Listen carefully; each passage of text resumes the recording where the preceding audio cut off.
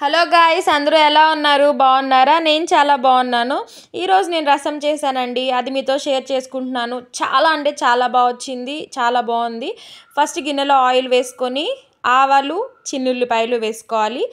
చిన్నుల్లిపాయలు రెండు చాలండి. Just flavour కోసమే రెండు క్రష్ చేసుకొని వేసుకోవాలి. తర్వాత కరివేపాకు వేసుకోవాలి. కరివేపాకు ఒక పచ్చిమిర్చి వేసుకోవాలి. ఎందుకంటే మనం ఎండుమిర్చి వేస్తాం కాబట్టి పచ్చిమిర్చి ఒకటి సరిపోయిద్ది. ఎండుమిర్చి వేసుకోవాలి. ఎండుమిర్చి ఒక త్రీ పడతాయండి. రసంకి ఎండుమిర్చి చాలా బాగుంటుంది. తర్వాత ఒక ఆనియన్ కట్ చేసుకోవాలి. ఆనియన్ కట్ చేసుకొని వేసుకోవాలి. ఆనియన్ కూడా బాగా వేగనివ్వాలి. మనకి ఏ కర్రీ అయినా కానీ ఆనియన్ బాగా వేగాలండి. టమాటా కంటే ముందు ఆనియన్ వేసుకొని ఆనియన్ వేగిన తర్వాతే టొమాటో వేసుకోవాలి. టమాటో కూడా బాగా వేగేలోపు మనం చింతపండు రసం తీసుకుందాం.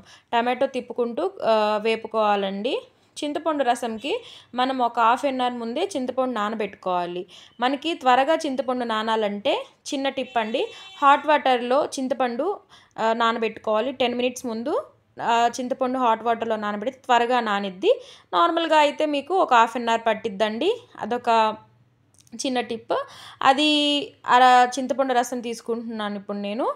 మీకు మీరు ఎలా రసం చేస్తారో నాకు కమెంట్స్లో చెప్పండి. తప్పకుండా చెప్పండి. మీరు నా రసం కూడా ట్రై నేను చేసిన రసం కూడా ట్రై చేయండి. చూడండి చింతపండు రసం తీస్తున్నాను. తర్వాత ఆ చింతపండు రసం తీసుకొని మనం వేపుకున్న ఆనియన్స్ టొమాటోస్ ఉన్నాయి కదండి అందులో వేసుకోవాలి. అక్కడ ఏంటంటే నేను ఆ రసంలో తీసుకున్న రసంలో రాక్ సాల్ట్ కల్లుప్పేసానండి నేను. అది నేను వీడియో తీయడం మర్చిపోయాను. రసం అందులో వేసుకున్న తర్వాత బాగా కొంచెం మరిగేలోపు నేను మసాలా వేసి తీసుకుంటున్నాను. మసాలాకి కావాల్సిన దినుసులు వేపుకుంటున్నాను. ఫస్ట్ ధనియాలు తీసుకొని ఒక స్పూన్ తీసుకున్నానండి. ధనియాను ధనియాలు వేపుతున్నాను చూడండి.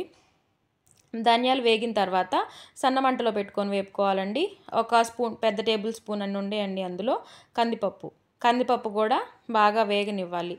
నేను వేపేది మొత్తం చూపించట్లేదు. కందిపప్పు కూడా బాగా వేగిన తర్వాత ఒక స్పూన్ నల్ల మిరియాలు తీసుకొని అవి కూడా వేసుకోవాలి. మనకి జీలకర్ర కూడా వేసుకోవాలండి. జీలకర్ర చివరిలో వేసుకోవాలి. అది స్టవ్ ఆఫ్ చేసుకొని జీలకర్ర వేసుకుంటే సరిపోయింది. ఎందుకంటే మనం జీలకర్ర ముందే వేస్తే మాడిపోయిద్ది. స్టవ్ ఆఫ్ చేసేసుకొని జీలకర్ర కూడా వేసుకోండి. మొత్తం పౌడర్ చేసేసుకొని మనం చేసుకున్న రసంలో వేసుకోండి.